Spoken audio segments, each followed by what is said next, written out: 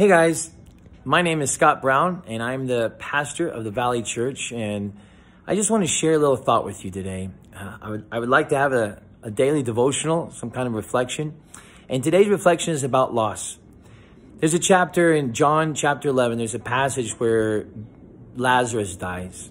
And Jesus was real good friends with Lazarus. He was good friends with his sisters, you know, uh, Martha and Mary. And uh, when he comes to the house where Lazarus is dead, first Martha comes out and says, Lord, if you would have been here, you could have saved him.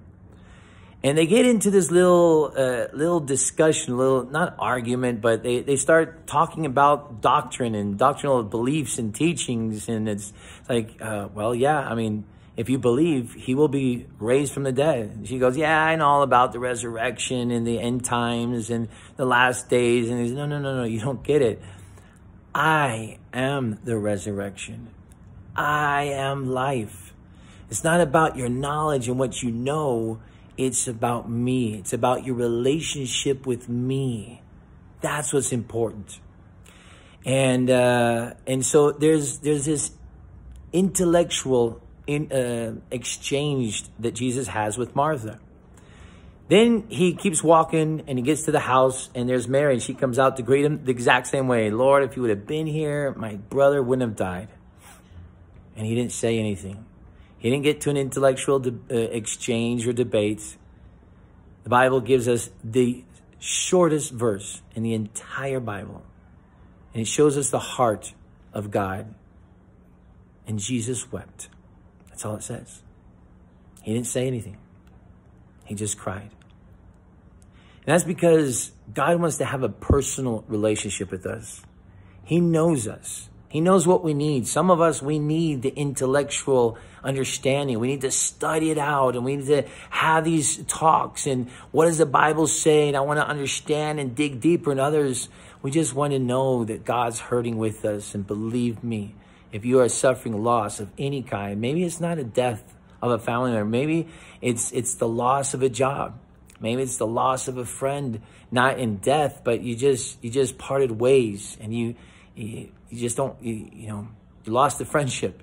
Maybe it's uh, a divorce. Maybe it's your kid that went off to college. I don't know what loss you're going through, but I just want you to know that God wants to have a personal relationship with you and he feels for you. He's crying with you. He's sad with you. He feels your heart. He wants to be there.